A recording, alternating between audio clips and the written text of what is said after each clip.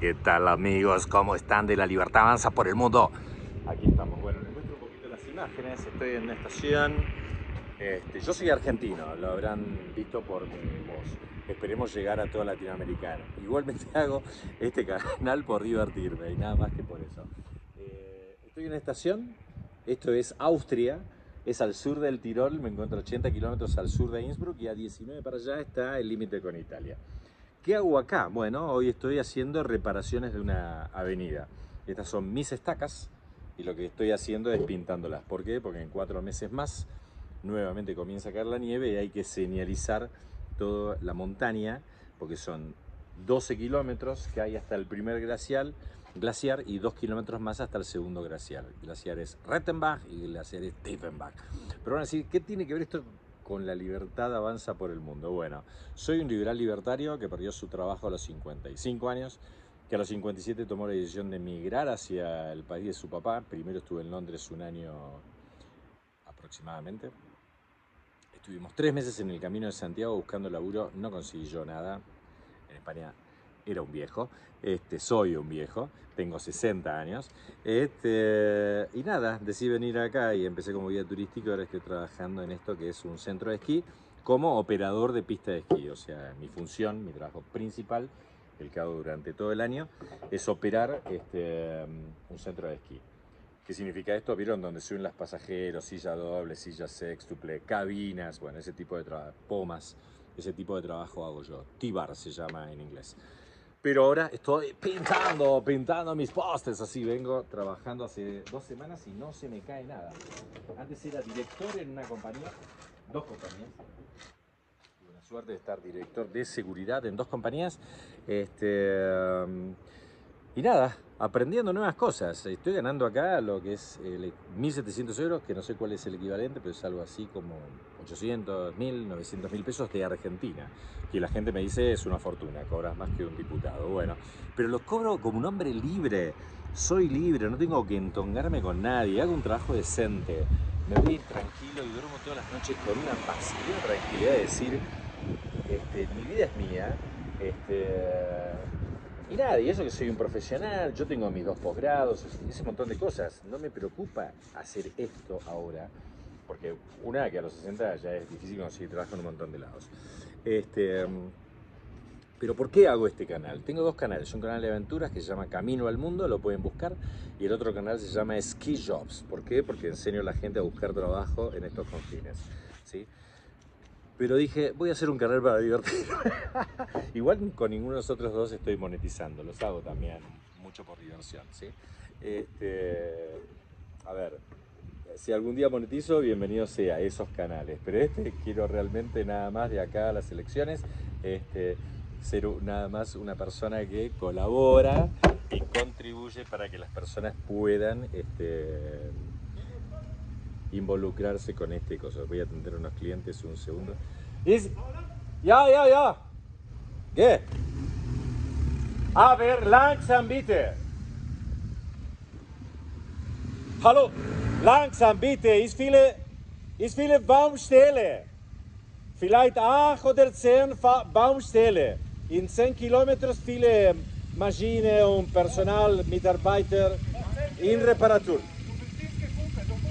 Danke. Viel Spaß. Langsam bitte. ¿eh? bueno, diciéndole acá, me habrán escuchado además, diciéndole a la gente que vaya despacio, porque se te meten las motos. Acá hay un peaje, oficialmente no está abierto, pero bueno, hay turistas de todos lados que quieren subir al glaciar. Este, es un lugar muy famoso, donde dos glaciares permiten que si uno quisiera se pudiera esquiar todo el año. De hecho, de hecho, hay veces que lo abren para que entrenen los equipos de competición austríacos que también, curiosamente, me enteré el otro día que entrenan en nuestra querida Bariloche. Así que bueno, nada, eso. Este, bueno, gente, soy argentino, hago este canal para toda Latinoamérica. Creo que tiene que eh, a ver, tengo, tengo 20 suscriptores, así que me pueden acompañar, a ver si llego a 100 y nos divertimos un rato. Pero bueno, mi aspiración es mostrar que una persona grande puede ser liberal y puede ser libertaria. Esto no tiene nada que ver con la juventud, tiene que ver con las estructuras, con romper toda esa mierda que nos metieron en la cabeza durante 40 años que si éramos radicales todo iba a estar bien, que si éramos peronistas todo iba a estar bien, que quién era el que conducía y quién era el que lograba los resultados. Esto no se trata de resultados, los resultados los logran las personas, la iniciativa privada. No hay nada mejor que tener un Estado así de chiquitito y que la iniciativa privada funcione. Porque la gente, yo creo que no lo explicó eso también, eh, también Javier Milei ni siquiera Victoria Villarruel y Diana Mondino quizás lo haya explicado un poquitito mejor. ¿Por qué no va a haber planes? ¿Por qué en la Argentina no va a haber planes? Porque no va a hacer falta. Porque no va a hacer falta. Si bien es parte de un proceso y va a llevar un tiempo, el día, el día el día que la máquina de la iniciativa privada comience a funcionar, va a ser tanta la cantidad de laburo que la gente no va a querer, no va a querer tener un plan. Les explico cómo funciona Austria para que tengan una idea. Austria es un país un poco mixto. Si bien de acá viene la escuela austríaca, tiene todavía esa influencia, aunque ustedes no lo crean, de la Viena Roja.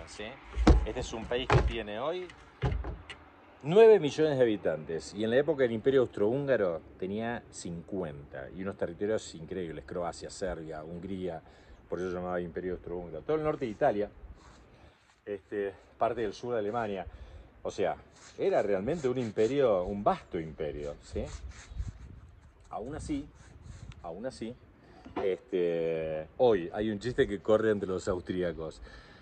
Eh, Austria es un país que todavía tiene la misma cantidad de empleados públicos que cuando tenía 50 millones de habitantes. Sí, señores, sí, acá también hay tongo. No sé si hay tanto sobre, porque los sobres se denuncian y bastante, este, pero que los hay, los hay. Donde hay política también hay historias y hay denuncias. ¿eh? Casi todos los meses aparece algún caso de corrupción en la política, denuncias por aquí y por allá. No tanto de corrupción, por ahí de otras cosas, pero por ejemplo hubo un viceprimer ministro que hay un juicio que todavía lleva un montón de tiempo por unos videos que fueron sacados en Mallorca con una menina que era rusa y que no se sabe si era un gato o si le pusieron una trampa o lo que fue. Bueno, a como de lugar, no hay país perfecto. Pero este, este es un país, les diría mixto, es un, un mixto entre socialismo, tiene bastante emprendedurismo y este,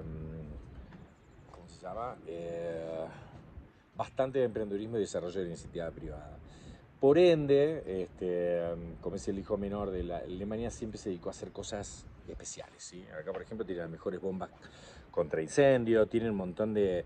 Por ejemplo, son eh, número uno en el mundo en desarrollo de medios de elevación para las pistas de esquí, que es el lugar donde trabajo. Entonces, eh, que es la firma Doppelmayr, por ejemplo, que está en Vorarlberg. O sea, hay muchas cosas que tiene Austria que son interesantes que tienen que ver con la iniciativa privada. Pero ¿qué pasa? ¿Cuánto cobra un privado y cuánto cobra un plan? Porque acá también hay planeros. Pero ¿sabe cuántos planeros hay? Aproximadamente unos 300.000. Casi todos son de origen árabe, musulmán, recién llegados de las guerras de Afganistán, Irak, etc. Somalia, que ellos acogen aquí en este lugar por esos convenios que tiene la, ¿cómo se llama? Eh, la Unión Europea y porque es un país de tránsito, la mayoría igual elige ir a Alemania, que son más permisivos. Este, y en ese mix, por ejemplo, una persona que tiene un plan cobra 700, 800 euros ¿sí? por persona. Pero cuando vos tenés un trabajo cobras 1500. ¿Qué harías vos si tuvieras un trabajo de 1500? 14 salarios, o sea, dos aguinaldos completos, mes de mayo, junio o mes de noviembre, diciembre. ¿Qué harías vos si tuvieras 14 salarios del doble de sueldo que la ayuda? Y yo tomaría un trabajo, eso es lo que haría cualquier persona decente y normal. Y eso es lo que va a impulsar el liberalismo. El tener, el tener la posibilidad de acceder a un buen salario cuando el plan no te sirve para absolutamente nada y además que te degrada como persona porque te ponen esa condición de decir, yo le debo algo a alguien, el que me lo dio, el que me lo facilitó, el que me lo consiguió. Y a su vez, que muchos planes, todos lo sabemos, tienen un porcentaje de dádiva que hay que darle a la persona que hizo la gestión y que me, y que me facilitó esa gestión. Yo me acuerdo que mi viejo, este, que era austríaco, un día tuvo la oportunidad de conocerlo a Massa, ¿no? Él ya falleció, él era austríaco y acá vienes. Y, este, y como vivía en el Tigre, se lo cruzó una de esa masa, que Massa se apoderó del partido vecinalista que tenía el Tigre. La gente cree que el Tigre lo hizo Massa, el Tigre lo hizo un partido vecinalista. Yo también viví un tiempo en el Tigre.